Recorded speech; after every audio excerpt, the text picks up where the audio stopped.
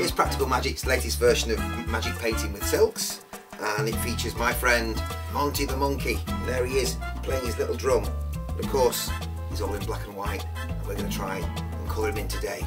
So of course you can use any kind of uh, change prop. We're going to use a change bag we're going to use some handkerchiefs today. So we'll put the black and white handkerchief inside there and you can get the children to join in by adding their own coloured handkerchiefs. Some small ones here, we'll put in the brown one. We'll have a yellow one. We'll have a blue one. We'll have a green one. We'll have a yellow one. And a red one. Mix them all around inside there paint the handkerchiefs. After three, a nice big abracadabra magic spell.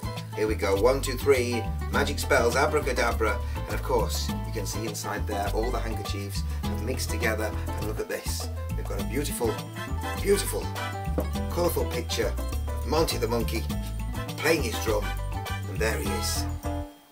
There he is. And that's the Monkey Silk Set.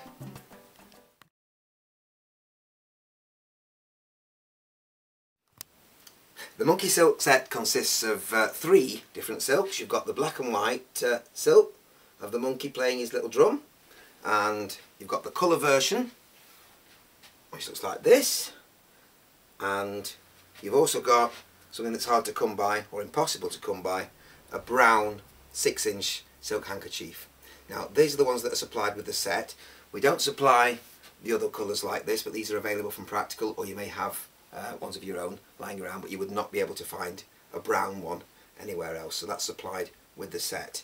And if you look at the design of the monkey, you'll notice that he uh, ties in perfectly with Practical's monkey puppet routine. It's the same character, so uh, you can have that character as a recurring theme throughout your show. And that's uh, Practical's monkey silk set.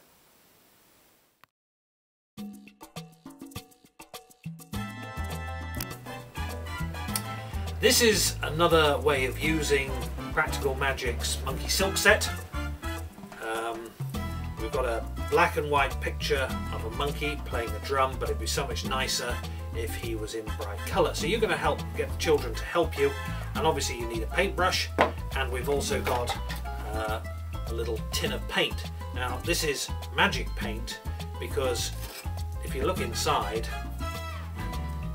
there's nothing there.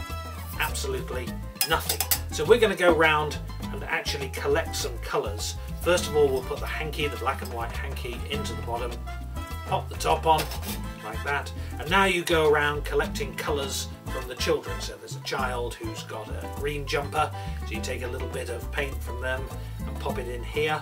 And I don't need to tell you to trip on the way back, so you have to go back and do it again. And then you want something red. We've got a child with uh, a red, oh, you've got a red shirt, so a little bit of red goes in. That's nice. And some blue Oh, you've got blue hair. Blue hair? Blue hair? Right, so you get a little bit of blue, and in that goes. And you go around collecting all the colours that you need. And eventually, the brush is simply left half in and half out. And you say, let's see if it's actually worked. And you take the top off, pop that to the side, and say, oh, I think it might have worked. Look, if I fluff it up with the brush, and you can see that it's I wonder if it's dry. Seems to be dry. Let's just tease it out. Down goes the paint tin, which they can see is empty, and when you open it up, there is the monkey, beautifully coloured. And so that is another use for Practical Magic's Silk Set.